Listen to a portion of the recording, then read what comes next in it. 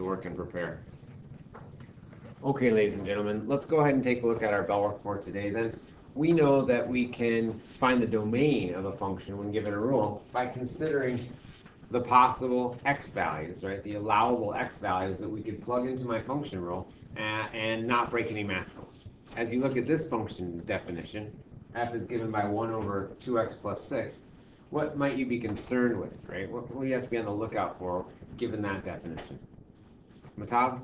Zero and zero meters. A zero in the denominator, excellent. And so if we have a fraction in our function definition, we want to make sure that we're not allowing x values that when substituted in would create a zero in the bottom of the fraction. So I can't have a quantity that equals zero, right, in the bottom of a fraction.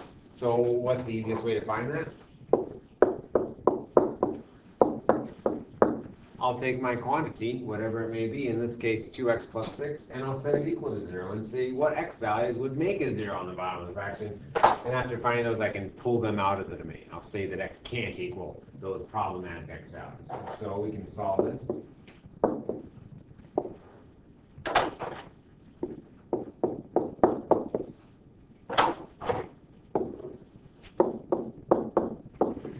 So it looks like when x equals negative 3, when x equals negative 3,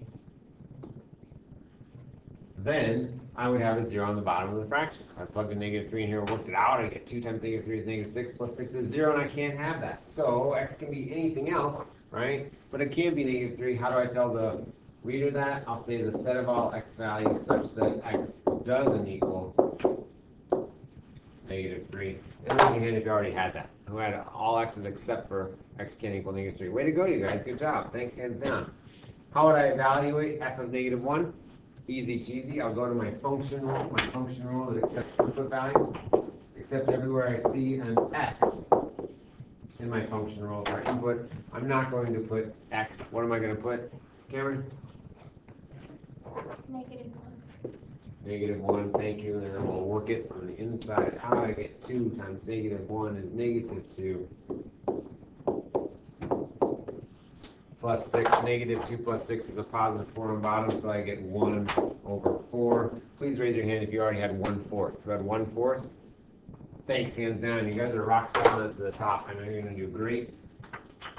Let's go ahead and take a look at our final one then we want to solve for m, and we tried to make one that was pretty complicated with lots of lots of forward uh, steps and reverse undo to get my solving steps. And so let's go ahead and check the requirements for our strategy. We need a single, right, our, our variable occurring on one side and outside of the denominator. So we can't be in the denominator in order to use our strategy. It looks like we're okay. So I'll go ahead and cover up the side of the equation that does not contain the variable I want to solve for, and list my forward steps. If I plugged in a variable value for m and evaluate it, the first thing I would do is square it. So my first forward step would be squaring, followed by multiplication by q, I'm sorry, by k, rather, and then dividing by a q. Bless you.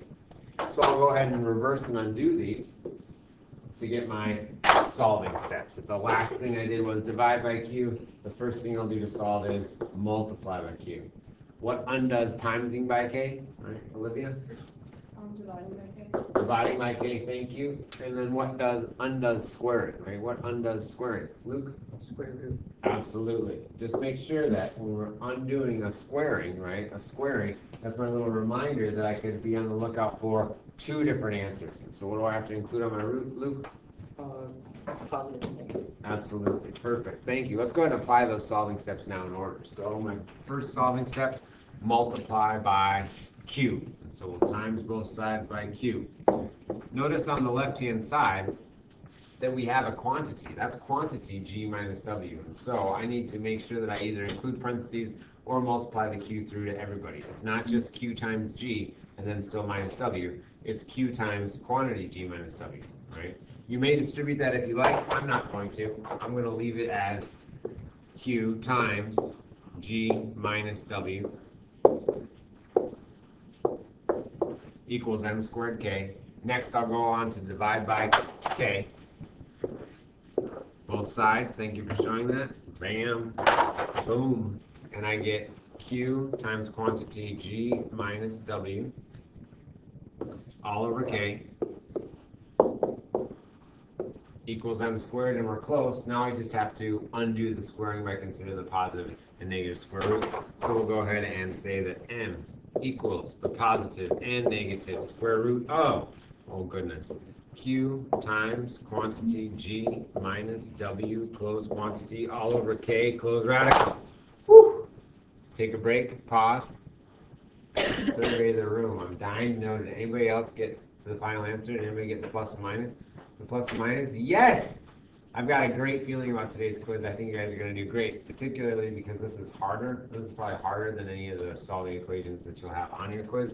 I wanted to make sure that you were well warmed up so you could do your very best. And so this is a little bit of beyond um, what you might have to do on your quiz, but not by much, right? You'll have two tricky ones with variables, I think. Awesome. What questions do you guys have in your bell work before we go on? Okay, we did not have a reading questions uh, on assignment number six, and so everybody, your maximum score on Infinite Campus is going to be four. Nobody should have a five on their Infinite Campus score for today's assignment number six if we check it. So give yourself credit for those you completed out of 26, please. Out of 26. Divide, enter, multiply by four. And then round your final answer to the nearest half point here to four. Nobody should have a five today because there's no reading questions associated with our assignment number six.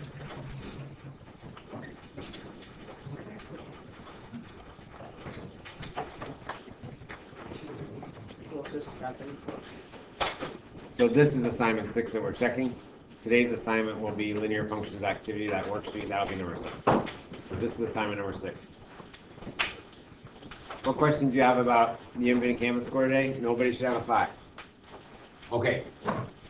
So make sure that you have your name then, your name first and last.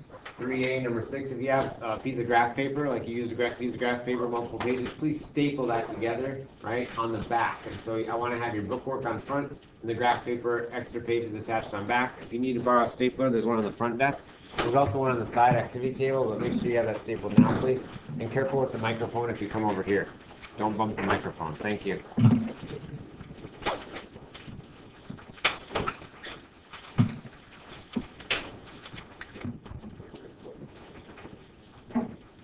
Okay, ladies and gentlemen, we'll continue now with our checking. And so, we can find an inverse in the most general sense by switching the coordinates in each point. We can switch the x with the y's.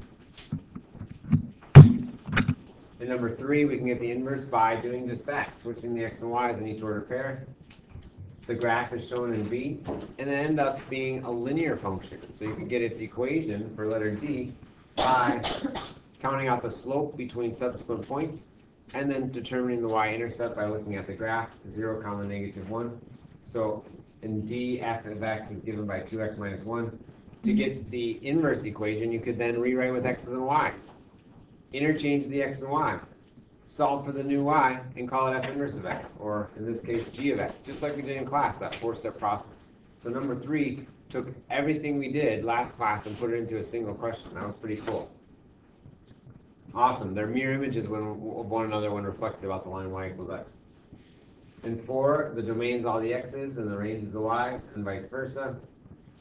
And the graph of the inverse of any relation is the mirror image when reflected about the line y equals x. Six, y is x over three. Seven, y is five x plus ten. Eight, x is y squared when I switch them.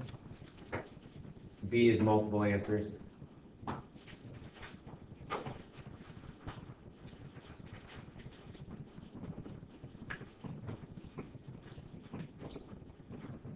Nine, the inverse of Q is not a function because the graph of Q failed the horizontal line test. Ten, yes, the graph passes the horizontal line test, guaranteeing that its inverse will be a function. Eleven, no, the graph of the function doesn't pass the horizontal line test. Twelve, no, the graph of the function doesn't pass the horizontal line test. And then thirteen, well, that would be the halving function, right? What would undo doubling? Halving, right? I take half of something would undo doubling it. Number fourteen, you can make up your own and then just reverse the coordinates.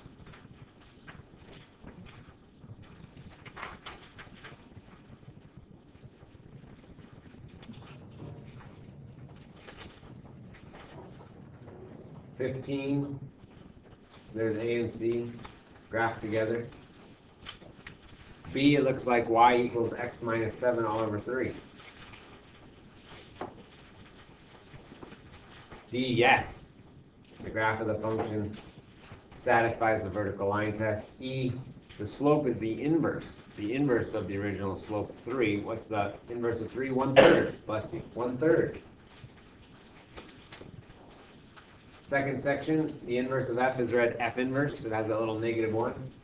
Three, yes, the composition results in x both ways. Four, h inverse of x is given by x minus seven all over five.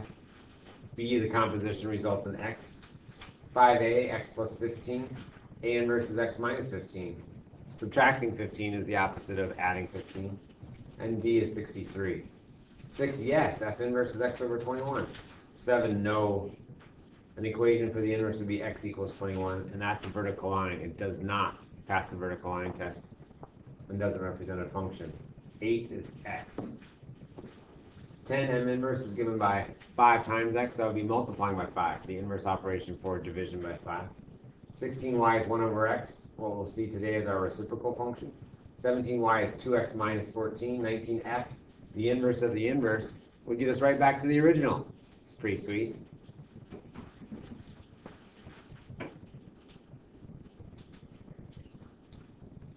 Twenty, that was an interesting question, so it had the y equals x squared graph, right, the y equals x squared graph. When you invert the position of x and y, we saw that the same x value, the same x value is paired with multiple outputs. And so nine would be paired with three and negative three, and that's not okay. However, if we restricted the domain to include only positive inputs and positive outputs, then we could generate inverse functions. G inverse would be the positive root x, and G inverse would be negative root x, depending upon which half, which arm of the parabola you were looking at. As you're finishing up, go ahead and give yourself an accuracy fraction out of 26 about how well did you did on the top front page and circle that. Make sure your infinite campus score is box 0 to 4. Nobody should have a 5. Make sure that your heading, name, first and last, 3A, and number 6 are clearly labeled. And then I know we're out of order, that's fine. We're gonna go ahead and pass from back to the front in the super columns that you're in, but make sure front rowers that they're facing the same direction, because that'll still help a lot. So once again, front rowers, make sure they're facing the same direction, please. Thank you.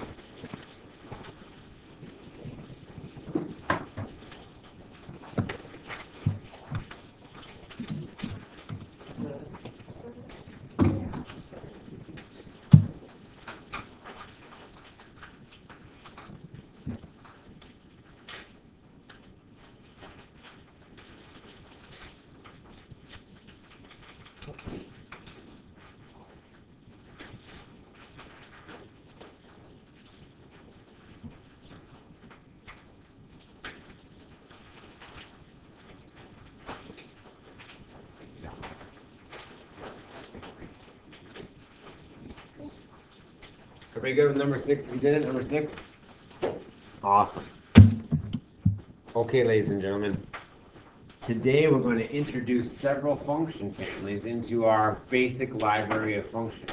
Throughout the course of the year, we're going to be returning to several of these in more detail. In fact, Unit 6 is all about the squaring function. An entire unit dealing with quadratic functions, which come from the squaring function. And so what we're going to do today is introduce those on our green sheet. If everyone could please find your function family's green sheet. We're going to go through and get the equation, several key ordered pairs on each graph. We'll make a picture, and then we'll state some key characteristics along with each function's domain and range. And so that's our goal for the first half of class. Then, second half of class will be taking your quiz. Okay, when you're done with, you're allowed to use a calculator on the quiz. When you're done, you'll bring it and you'll put it face down on the front chair closest to the whiteboard. I'll put it up here with the label. And then you're gonna work on your assignment number seven. It's just that linear functions um, worksheet that you picked up on your way in. There's no book work tonight and no reading questions. So you'll have a nice weekend, right, where you don't have to lug your advanced algebra book home this time. We kind of got a nice little break. It's a very important activity, but it's not very long, okay? Awesome. Let's go ahead and get going then to make sure you have plenty of time on your quiz. So our first family in our in our library of function families is called the constant function. The constant function is named the constant function because every single y value, every single y coordinate returned by the constant function is whatever that constant k is. So we'll say k is just some number, some value. Like two. So it's just some number like two. I'll say a number.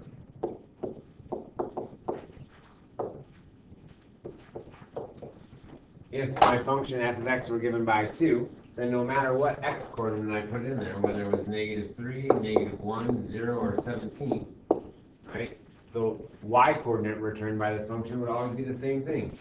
k, in this case, two. If I were to plot all of these together on the xy coordinate plane, it would make what kind of graph? Well, it would make a horizontal line. So the constant function, y equals k, or f of x equals k. Important characteristic, it's a horizontal line.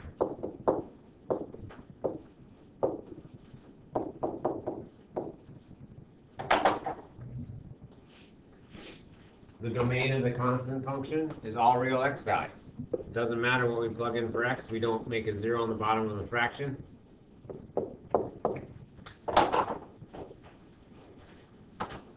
And we don't make a negative number inside of a square root. So all real x's is my domain. However, my range is only the y value k, right? The only y value ever produced is k. And so it would be the set of all y values such that y equals k only.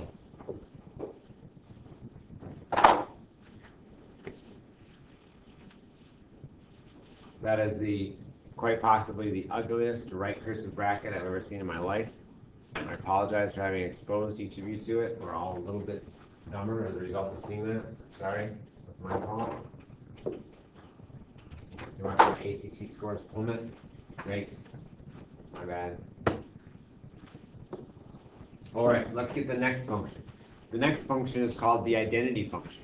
It's so named because every time I, I put an x value in, it pairs it with the same value for y. And so the identity function is given by f of x equals x. And we saw this yesterday. That's the same as y equals x, our diagonal line that cuts through the origin at a 45 degree angle. So my identity function takes input values and pairs them with output values that are exactly the same. So negative 3 would be paired with negative 3. Negative 1 would be paired with negative 1. 0, 0, 4, 4. If I connected all these ordered pairs,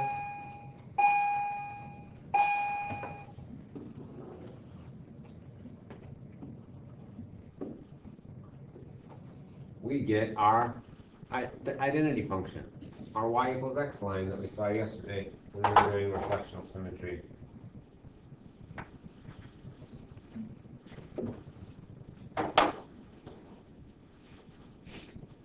Important characteristics. This is a linear function or a line. It has a constant rate of change.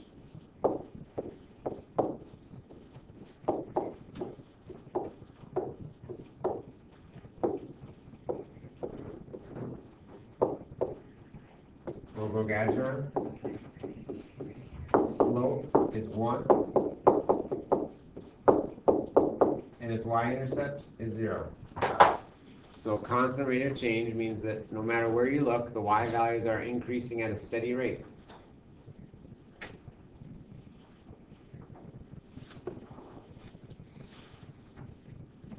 The domain is all real x's and range is all real y's.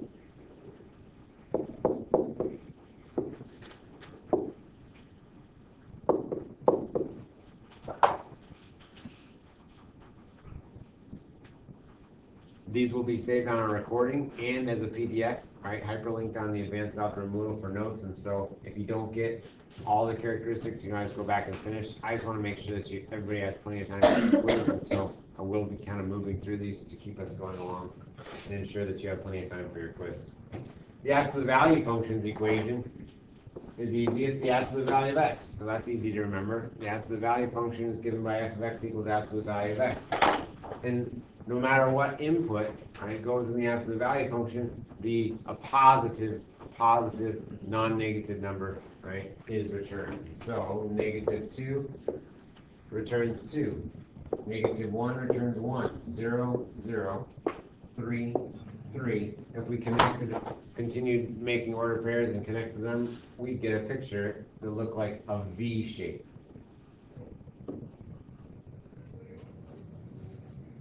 So if we continue choosing values, I get what I affectionately call an absolute value V. I remember an absolute value makes a V-shaped graph.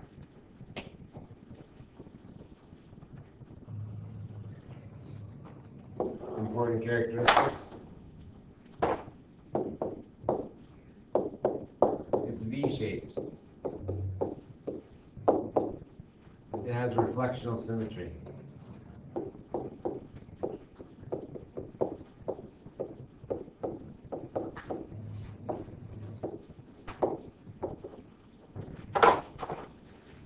The domain However, the range you can see is restricted. Notice how the graph only appears in the top, the top half of our xy coordinate plane.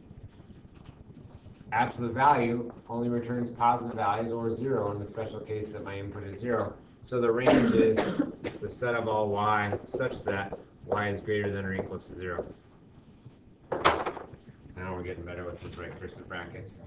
Go go gadget arm for you in the back.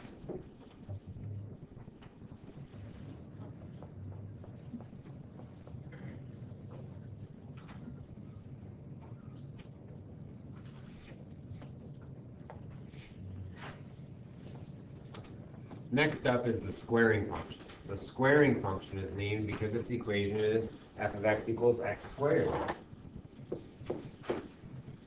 We can get points on the squaring function by inputting x's and squaring. So negative two quantity squared is four. Negative one, one. Zero, zero. One, one. Two, four. And we saw a relative of the squaring function in last class when we made the y equals one half x squared. It was a u shape. Well, that's a relative of the parent function, f of x equals x squared. It's a parabola, we'll call it, and it makes a u shape, not a v shape. Let's go ahead and fill in my key points.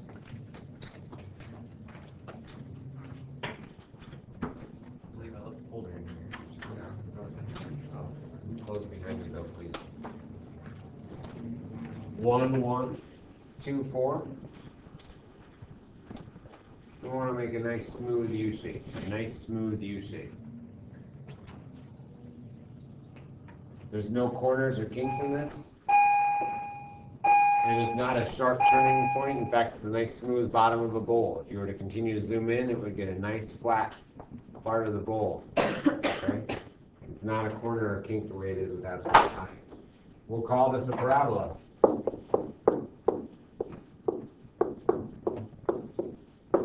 Key characteristics. It's U-shaped. refle reflectional symmetry.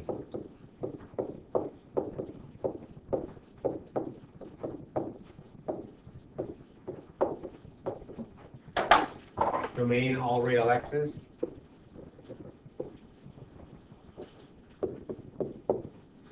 And the range, again, is restricted.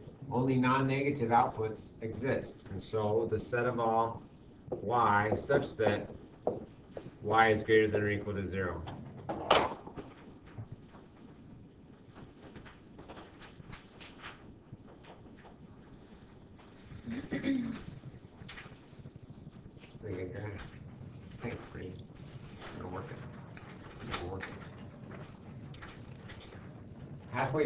Guys. You're doing great.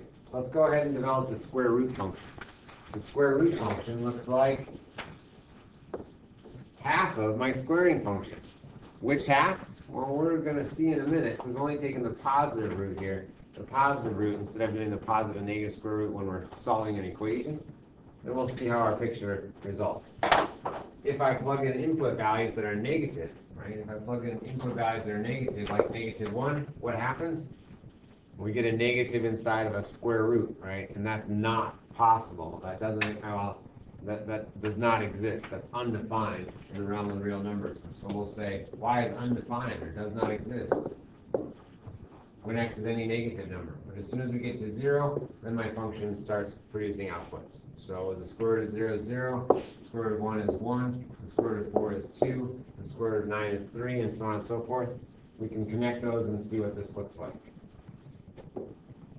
And we see that we get half of a parabola, but arching to the side. Right, this is the square root function. It's one arm of my original parabola reflected about the line y equals x.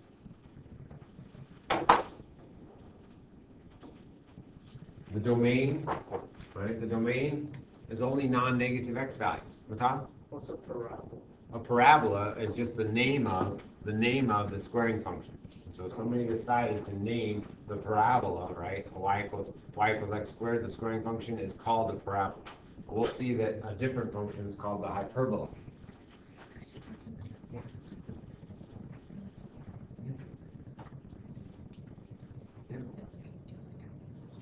So, the notes from. Oh, got you. Right there, that second tile, right underneath the outlet. You can take one of everything right underneath the, um, plug. Yep. So, a parabola then is just a name for the squaring function, much like a hyperbola is the name for the graph of, uh, the reciprocal function. And we're gonna see that when we get to number seven, okay? So somebody decided to name it that way. All right, let's go ahead and take a look at our domain and range. Again, only non, only non-negative inputs will be allowed. So how will we say that? Easy cheesy. We'll say the set of all x such that x is greater than or equal to zero. And those are only paired with output values, y values, such that y is greater than or equal to zero. And that's my restricted domain and range.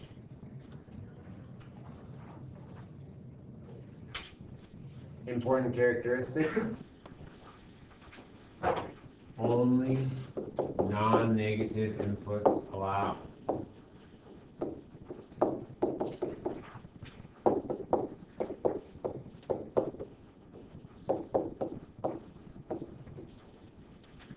So only non-negative input x values are allowed, because I can't have a negative inside of a square. Go, go, guys, John.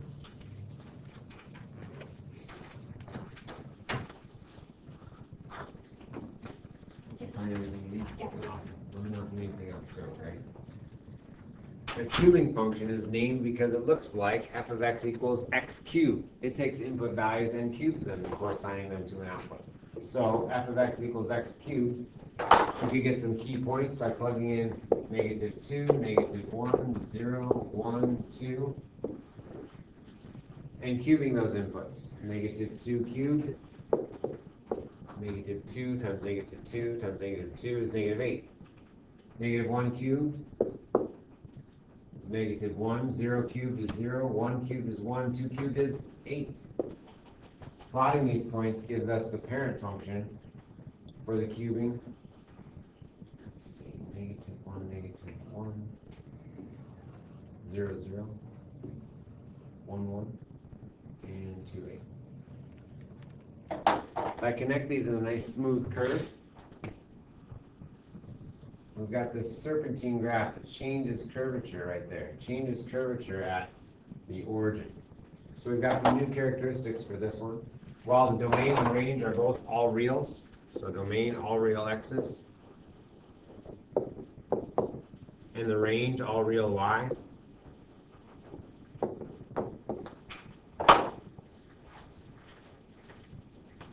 important characteristics, for the first time we've got a graph with rotational symmetry. So this graph I call snake shaped. Call it snake shaped. You can see it slithering there along your green sheet. Snake shaped and it has rotational symmetry, 180 degrees about the origin. Rotational symmetry. as opposed to the reflectional symmetry where we saw those left-right bilateral halves. Now we have rotational symmetry. If you were to grab onto this arm, right, these arms, and spin it like a steering wheel, 180 degrees around the origin, it would fall upon its own image.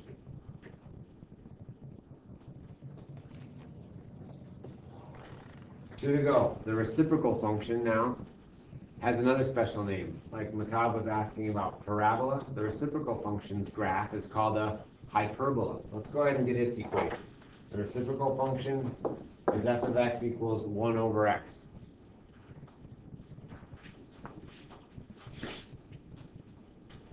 The reciprocal function produces outputs by taking inputs and taking the reciprocal. And so if I were to plug in negative 2, it would be paired with the output 1 over negative 2 or negative 1 half.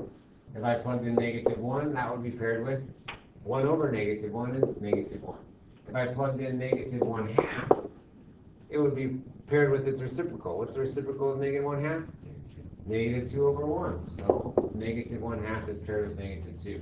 When I plug in 0, however, my function machine breaks. Why is that? Well, when plugging in 0, for x, I create a 0 in the bottom fraction, so guess what?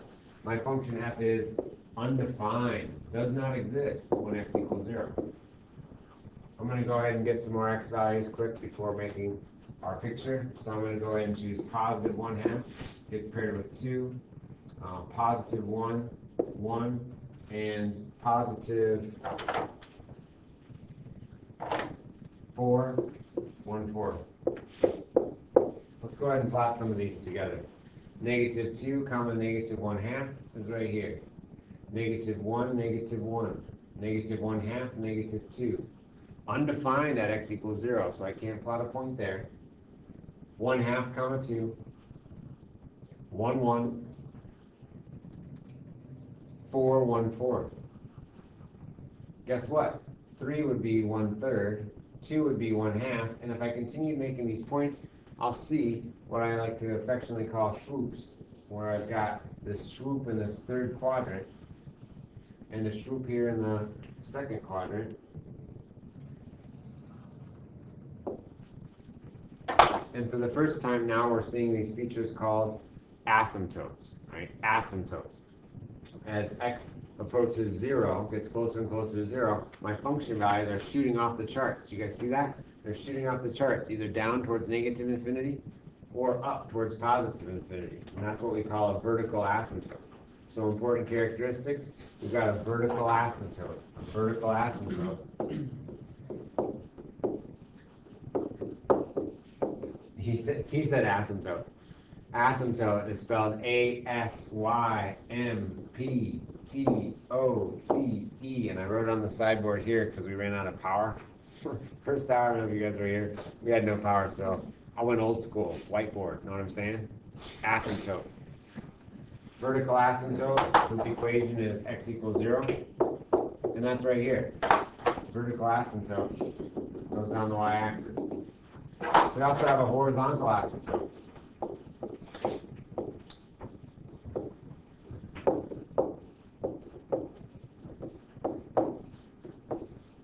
The horizontal asymptote has equation y equals zero. And it's here on the graph. Along the x-axis.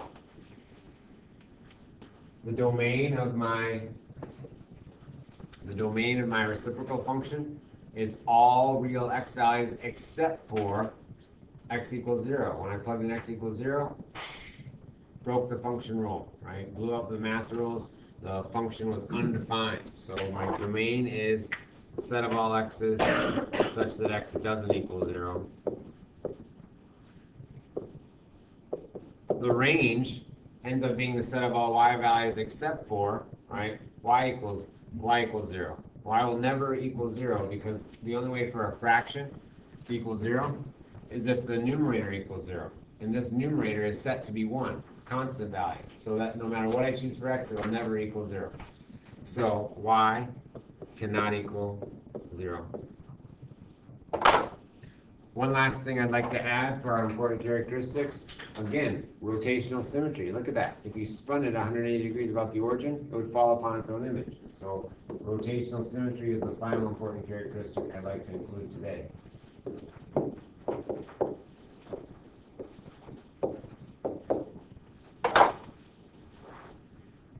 Don't worry, Ethan will be able to say it one more time. We still got one more graph. I'm hopeful.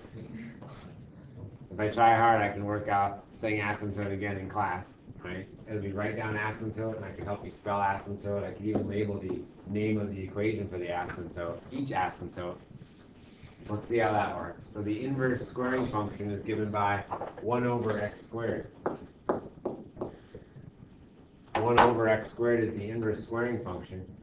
And values are assigned, output values are assigned by taking inputs and taking the reciprocal of their square. That's why it's called the inverse squaring function. Let's see some points on this. So I'm going to choose um, negative one half. When I take negative one half and square it, I get positive one fourth, and then the reciprocal of positive one fourth would be positive four over one. So negative one half is paired with four. When I plug in negative 1, when I plug in negative 1, squared is positive 1, and 1 over 1 is 1. When I plug in negative 2, I get negative 2 squared is 4, I get 1 over 4 is 1 fourth. When I plug in 0, I get error, error, error, does not exist, undefined. How come? Created a 0 on the bottom of the fraction. So at x equals 0, the function is undefined. I could do the same thing by choosing positive values now. If I chose a positive 1 half, when I square it, I'll still get positive 1 fourth, and the reciprocal of 1 fourth is 4. And so guess what? Plus and minus x equals 1 half return 4. Plus and minus 1 both return 1. Plus and minus 2 both return 1 fourth. And so on and so forth. Let's see what this looks like. So, negative 1 half, comma, 4. 1 half, comma, 4. Negative 1, 1. Positive 1, 1. Negative 2, 1 fourth. Positive 2, 1 fourth.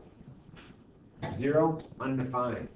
If I carefully connected these coordinates, I'd get something like, like an old school Atari symbol. Atari was an old gaming platform back when I was a kid. Before they had Xbox Live and Xbox 360 and Wii, PS3, and COD, Modern, Modern Warfare, and Halo 3. There was this gaming console called Atari, and it had a logo that looked kind of like this. All right, so this is our, our inverse squaring function. Ethan, we have a vertical asymptote here at x equals zero. That's an important characteristic.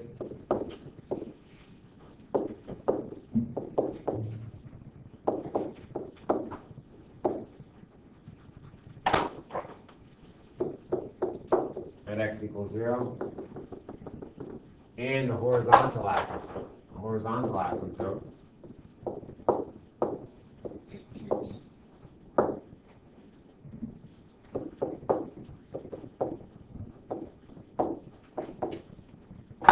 at y equals zero.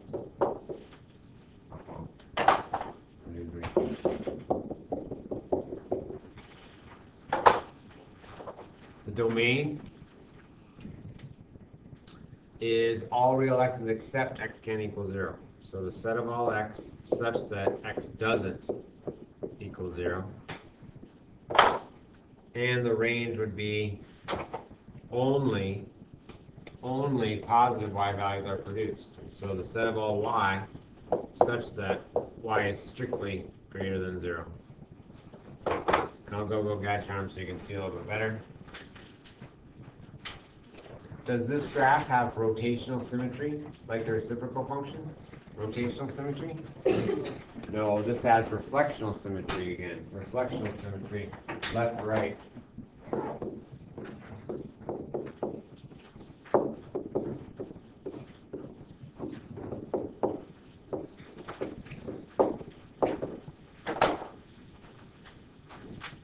Take a minute make sure you have your green sheet completed. Right, We'll be referring to this the rest of the unit.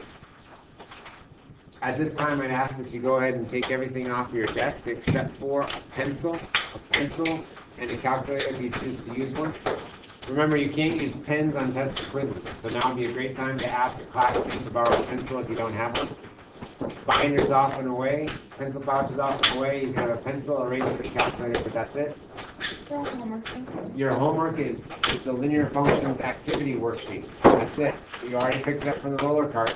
Does not include any book work and no reading questions. So you'll have a nice little break over the, over the weekend. You still have a very important assignment, but it's not that long. You may use the table feature in your calculator to help you with the tables, but you can also evaluate by hand. The choice is yours. After everybody's got stuff off their desk, then we'll go ahead and get started.